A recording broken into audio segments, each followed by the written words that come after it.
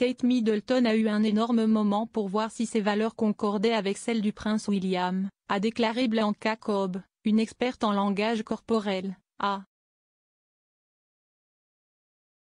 La duchesse de Cambridge a célébré son 40e anniversaire ce week-end et a personnellement remercié ses sympathisants après avoir été inondée de messages du monde entier.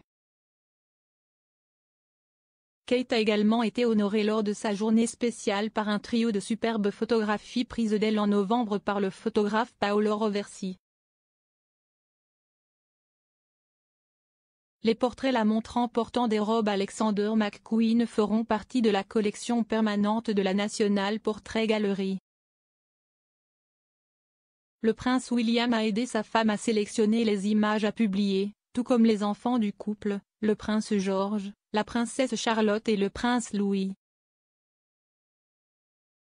L'année dernière, le duc et la duchesse de Cambridge ont publié une autre série de portraits pour marquer leur dixième anniversaire de mariage. Le couple s'est marié en 2011 lors d'une cérémonie de conte de fées à l'abbaye de Westminster regardée par des millions de personnes dans le monde. Bien que les Cambridge soient restés une unité solide, ils ont rencontré quelques difficultés au début de leur relation. Blanca Cobb, une experte en langage corporel basée aux États-Unis, a déclaré que Kate avait été confrontée à un énorme moment au début du couple pour voir si ses valeurs correspondaient à celles de William. Elle a déclaré à express.co.uk, en supposant que tous les deux, comme la plupart des gens quand vous vous mariez, veuillent se marier pour la vie, si est une entreprise énorme. Donc, il y a beaucoup de réflexions là-bas pour voir comment les valeurs s'alignent et à quoi ressemblera la vie. Et comment tout le monde va s'intégrer dans la vie royale et à quoi cela pourrait ressembler à l'avenir. Donc, je pense qu'il y avait beaucoup de considérations à prendre en compte. Kate et William se sont rencontrés pour la première fois alors qu'il étudiait à l'université de St.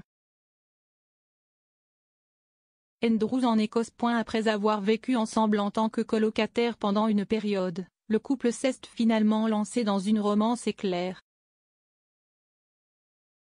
En 2007, cependant, ils ont choqué le monde lorsqu'il a été révélé qu'il avait rompu. La scission aurait eu lieu parce que si Kate était heureuse de s'engager, William ne l'était pas.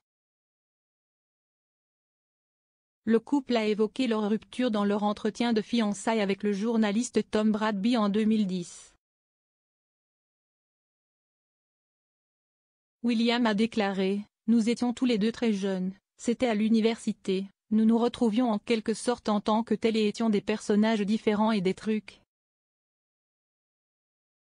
C'était vraiment essayer de trouver notre propre chemin et nous grandissions, et donc c'était juste un peu d'espace et un peu de choses comme ça et ça a fonctionné pour le mieux.